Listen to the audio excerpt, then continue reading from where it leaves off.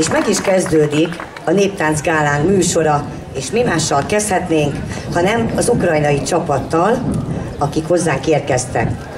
Az Ukrajnából érkezett Children's Teatre Levenya Eszkada Táncszínház műsorával nyitjuk meg nemzetközi néptánc gálákat, amely táncszínház 2016. szeptemberében alakult, és alapította Natália Bondácsó.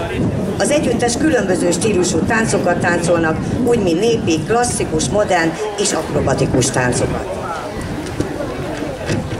Számos nemzetközi fesztiválon, versenyen szerepeltek már, és vívták ki a közönség és a zsűri elismerését.